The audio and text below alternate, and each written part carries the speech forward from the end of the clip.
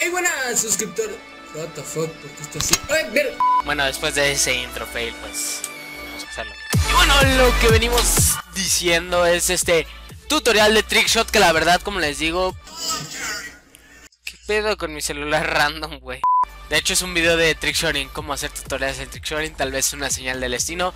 Pero lo que vamos a hacer hoy es, aguanten, tengo que sincronizar. Pero básicamente lo que vamos a hacer hoy es enseñarles a hacer uno de los trickshot es mediano, se, se supone, a lo mejor es un entre fácil y mediano de pues experimentación de trickshot.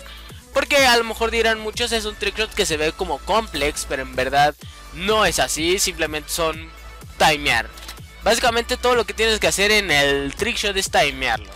Ok, para empezar, Nako, un Zoomnak, no sé cómo le quieran decir, pero RPG Nako, RPG Swap o como le quieran decir, esto solo se puede bueno chicos, la verdad es que se puede en cualquier Call of Duty. Aquí la regué un poco y estaba diciendo que no se podían en ciertos Call of Duty. Pero se pueden en todos los codes. Entonces funcionaría de la misma manera como les voy a explicar en el tutorial.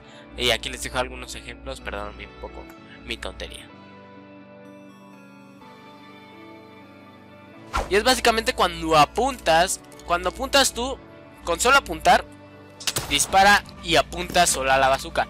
Entonces lo que haces, ok, entonces sería disparar Y a la vez. Entonces hace como ese pum de cambiar el arma. Entonces lo que tienes que hacer ahora nada más es timearlo para que haga el naco o el swap, como quieras verle.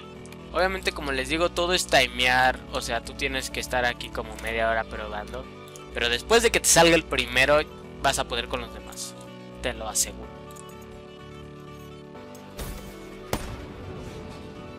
Ok, para los que se me, la pasan preguntando que qué sensibilidad ocupas para hacer trickshot.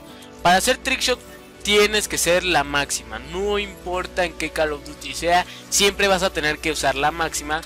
Porque así es. A lo mejor puedes variarle una sensibilidad menos, una sensibilidad más. Pero siempre tiene que ser básicamente la misma. Para así timear bien tus trickshots en todo Call of Duty. ¿Y cuál sería la siguiente variante en el trickshot? Básicamente es el zoom para mí algo que de repente estás en media partida y lo estás haciendo, que es básicamente apuntar y cuando apuntas y tienes una bala gastada en el cargador o cualquier bala, no, no puedes hacerlo si tienes todas las balas descargadas, perdonen. Tienes que acuchillar, apuntar y X, acuchillar, apuntar X. Y va a llegar a un punto en el que se glitchea y se ve muy bien, la verdad. Entonces, como es golpe apuntas. Golpe, apuntas, X. Esto sí es de timearlo porque no siempre te va a salir, eh, excepto si ya lo tienes muy bien timeado. Como ven, no recarga en sí. Y de hecho algo que pasa muy, pues ahora sí que interesante en la killcam es que no va a salir cuando recargas en la killcam.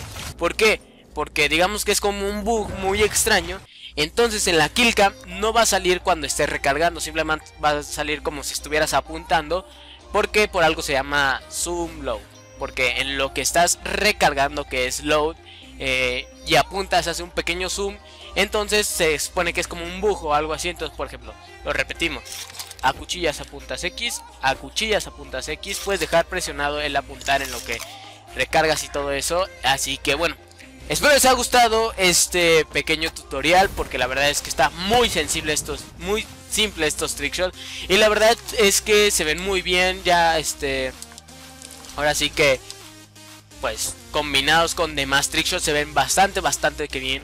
Así que déjame en los comentarios qué te pareció este y si no aún aún has visto los demás te los dejo aquí para que veas la gran cantidad de trickshots que puedes hacer en este Call así que bueno espero te haya gustado like, for suscríbete. Yo soy Scar, aquí un saludo y nos vemos en otra. Adiós.